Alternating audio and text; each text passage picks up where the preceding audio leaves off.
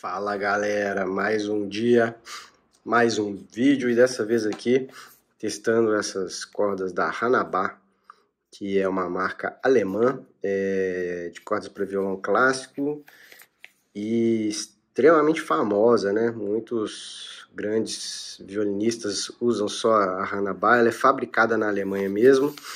Achei muito bom o pacotinho, vem nessa sacolinha de plástico e, e aí aqui dentro as cordas vêm em saquinhos individuais é, e eu achei uma corda muito equilibrada. Então vejam aí o antes e o depois dessas cordas e me digam aí se vocês gostaram também. Valeu!